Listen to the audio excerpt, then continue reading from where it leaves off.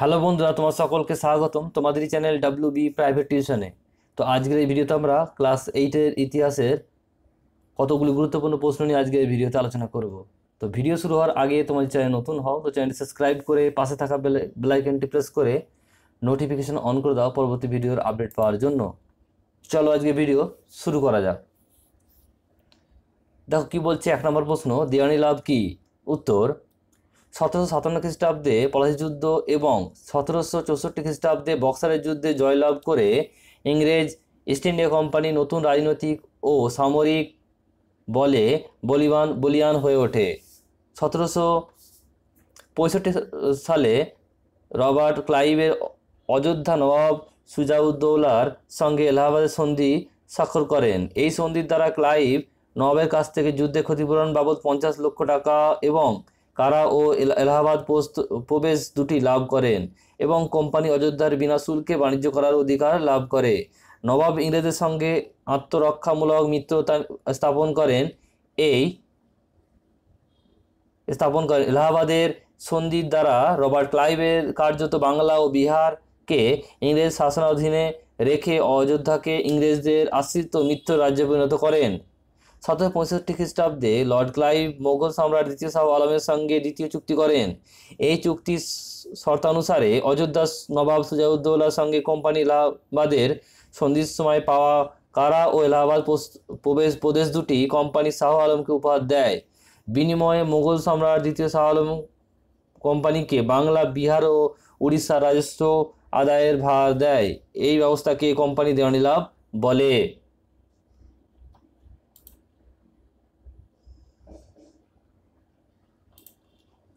Next প্রশ্ন বলছে, দস্তক কাকে বলে? উত্তর, দস্তক কথার অর্থ হলো ছাড়পত্র।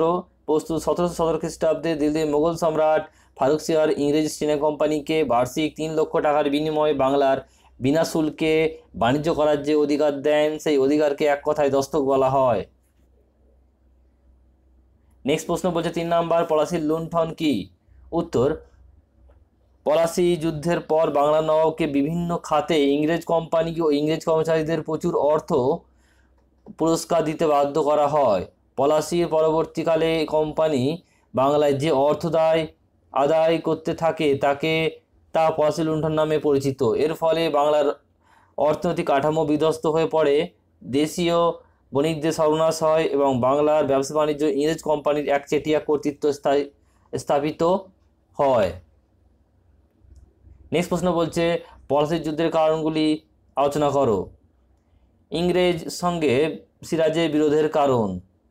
হচ্ছে আলিবর্দির মৃত্যুর পর তার কনিষ্ঠ কন্যা আমিনা বেগমের পুত্র সিরাজদৌল্লা বাংলা নবাব হন। হচ্ছে মসনদে বসার পর থেকেই সিরাজের সঙ্গে ইংরেজদের নানা কারণে বিরোধের সৃষ্টি হয়।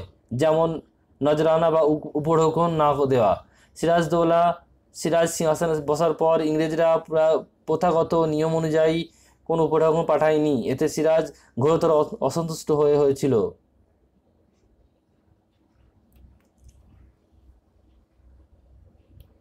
এই অবস্থায় ইংরেজদের কঠোর শাস্তি দেওয়ার জন্য সিরাজ কলকাতা আক্রমণ করে ফোর্ট উইলিয়াম দুর্গসহ কলকাতা দখল করে নেন এবং আলিবর্দির নাম অনুসারে এই শহরের নতুন নাম রাখেন আলীনগর। এরপর হচ্ছে গৃহশত্রু ও পলাশির ষড়যন্ত্র। বলছে, বাংলা সিংহাসনে সিরাজদৌল্লা উপবিষ্ট হওয়া তার তার তার মাসি বলছে ঘসিটি বেগম ও তার পুত্র সৈকত জং বলছে, ষড়যন্ত্র শুরু করে এবং তাদের সঙ্গে ইংরেজদের যোগ দেয়। এই সংবাদ নবাবের কাছে পৌঁছালে তিনি দারুণভাবে ক্ষুব্ধ হন। বলছে কৃষ্ণদাসকে প্রত্যাবর্তন না করা। সিরাজ ঢাকার যাওয়া দেওয়ান রাজবল্লভদের বিরুদ্ধে তহবিল তছরূপের অভিযোগ আনেন রাজবল্লভ, তার পুত্র কৃষ্ণদাসকে সময় মতো ধনদৌলত সহ কলকাতায় ইংরেজদের আশ্রয় পাঠিয়ে দেয়। সিরাজ কলকাতার গভর্নর ড্রেককে নির্দেশ দেন, তার পলাত কর্মচারী কৃষ্ণদাসকে যেন ফিরিয়ে দেয়। ড্রেক এই নির্দেশ প্রত্যাহার করায় সিরাজ অত্যন্ত ক্ষুব্ধ হন। এবার বলছে, দুর্গ নির্মাণ। এই সময় দক্ষিণ ভারতের বলছে ইন্দো ফরাসি যুদ্ধের অজুহাতে ইংরেজ ও ফরাসিরা যথাক্রমে কলকাতা ও চন্দ্রনগরের দুর্গ নির্মাণ করেন। সিরাজ তার আধিক আধিপত্য বজায় রাখার জন্য ইংরেজ ও ফরাসিদের দুর্গ নির্মাণ বন্ধ করার আদেশ দেন। ফরাসিরা তা মেনে নেন, কিন্তু ইংরেজরা তা অগ্রাহ্য করে। এর ফলে নবাব সিরাজউদ্দৌলার সঙ্গে সম্পর্ক অবনতি হয়। নেক্সট বলছে দস্তকের অপব্যবহার। ইংরেজ কোম্পানি বাংলা বিনা শুল্কে যে বাণিজ্য অধিকার লাভ করেছিল, তা কোম্পানি কর্মচারীদের ব্যবহার করতে দিতে তারা তার অপব্যবহার শুরু করে। এর ফলে বিদেশি ব্যবসা বাণিজ্য, ব্যবসায়ীরা ও নবাব অর্থনৈতিক দিক থেকে ক্ষতিগ্রস্ত হয়। এর ফলে দেশীয় ব্যবসায়ীরা এবং নবাব আর্থিক দিক থেকে ক্ষতিগ্রস্ত হয়। সিরাজ কোম্পানির কাছে, কাছ থেকে এই মর্মে প্রতিশ্রুতি দাবি করেন যে কোম্পানি দস্তকের অপব্যবহার করবেন না, কিন্তু কোম্পানি এই প্রতিশ্রুতি দিতে নারাজ হয়। ফলে সিরাজদৌলা ইংরেজদের প্রতি আরও রুষ্ট হন এবং তিনি রেগে দেশীয় বণিকদের উপর থেকেও কর তুলে নেন তুলে তুলে দেন। এর ফলশ্রুত শুরু হয় পলাশির যুদ্ধ। এবার প্রশ্ন বলছে কর্নওয়ালিস কোর্ট কাকে বলতে কি বোঝায়? উত্তর, লর্ড কর্নওয়ালিস ছিলেন বাংলার গভর্নর জেনারেল। তিনি সতেরোশো তিরানব্বই খ্রিস্টাব্দে স্বচ্ছ প্রশাসন গড়ে তোলার জন্য প্রচলিত আইনগুলিকে সুস- সুসংহত করে যে কোড বা বিধিনিষেধ আইন চালু করেন, তাকে কর্নওয়ালিস কোড বলা হয়। এর ফলে দেওয়ানি সংক্রান্ত বিচার ও রাজস্ব আদায়ের দায়িত্ব সংক্রান্ত বিষয়কে আলাদা করে দেওয়া হয়েছিল। নেক্সট প্রশ্ন বলছে, আঠেরোশো তেরো খ্রিস্টাব্দে সনদ আইনে শর্ত লেখো। উত্তর, এক নম্বর কয়েকটি শর্তাধীন অন্যান্য কোম্পানিকে ভারতে বাণিজ্য করার অধিকার দেওয়া। দুই নম্বর শর্ত, কেবল চীন দেশে ইস্ট ইন্ডিয়া কোম্পানির আরও কুড়ি বছর একচেটিয়া বাণিজ্য অধিকার বহাল রাখে, থাকে। তিন নম্বর বলছে, এই আইনে সর্বপ্রথম ভারতের শিক্ষা, সংস্কৃতি বিষয়ে কোম্পানির কিছু কর্তব্য নির্দিষ্ট করা হয়, স্থির হয়। এদেশে শিক্ষা, সংস্কৃতি বিকাশের জন্য কোম্পানি বছরে এক লক্ষ টাকা ব্যয় করবে। কোম্পানির সামরিক ও বেসামরিক বেসামরিক কর্মচারীদের শিক্ষার ও কিছু ব্যবস্থা করা হয়।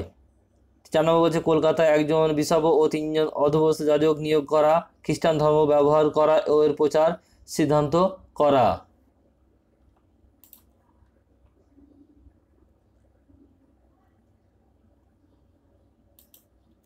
নেক্সট বলছে, পাঁচ নম্বর, ইংরেজগণকে ভারতের জমি ক্রয় করার ও স্থায়ীভাবে বসবাস করার অনুমতি দেওয়া হয়। নেক্সট প্রশ্ন বলছে, প্রাচ্য পাশ্চাত্য দ্বন্দ্ব বলতে কি বোঝো? উত্তর। সূত্রপাত বলছে ভারতের ভারতে ব্রিটিশ পার্লামেন্ট দ্বারা আঠেরোশো তেরো খ্রিস্টাব্দে চার্টার্ড অ্যাক্ট চালু হয়, যেখানে প্রথমে বলা হয়, প্রথম, যেখানে প্রথম বলা হয়, বছরে এক লক্ষ টাকা ভারতের শিক্ষার জন্য ব্যয় করা হবে। এই ঘোষণার ফলে ভারতীয় জনশিক্ষা কমিটি কলকাতা সংস্কৃত কলেজ প্রতিষ্ঠিত করার উদ্যোগ নেয়। কিন্তু রামমোহন রায় সরকারকে এই ইংরেজি মাধ্যম শিক্ষা ব্যবস্থার কথা বললে দ্বন্দ্বের শুরু হয়। শুরু হয় প্রকৃত সংস্কৃত না ইংরেজি। এদেশে শিক্ষা ভাষা হবে তার দ্বন্দ্ব। মতপার্থক্য ভারতীয় শিক্ষা প্রসারের জন্য যে জনশিক্ষা কমিটি প্রতিষ্ঠা করা হয় তার সভাপতি ছিলেন মেকলে এদেশে প্রাচ্য না পাশ্চাত্য ভাষায় শিক্ষার বিস্তার হবে, এই নিয়ে কমিটির মধ্যে বিভেদ হয়। প্রাচ্য প্রাচ্য পাশ্চাত্যবাদী বলছে, ভারতীয় শিক্ষা প্রসারের জন্য দুই দল হলেও তাদের মধ্যে প্রাচ্য পাশ্চাত্য ভাষা নিয়ে সমস্যা সৃষ্টি হয়। প্রাচ্যবাদের সমর্থক ছিলেন এইচ টি প্রিন্সেপ ব্রুক প্রমুখ। পাশ্চাত্যবাদীদের মধ্যে হলো মেকলে আলেকজান্ডার ডাব প্রমুখ। তো এই ছিল মোট তোমাদের প্রশ্ন, কতগুলি গুরুত্বপূর্ণ তোমাদের পরীক্ষার জন্য। তো অবশ্যই যদি ভিডিও ভালো লাগে লাইক করে দিও, আর চ্যানেল নতুন হলে চ্যানেলটি সাবস্ক্রাইব করে পাশে থাকা বেল আইকনটি প্রেস করে নোটিফিকেশন অন করে দাও, পরবর্তী ভিডিওর আপডেট পাওয়ার জন্য।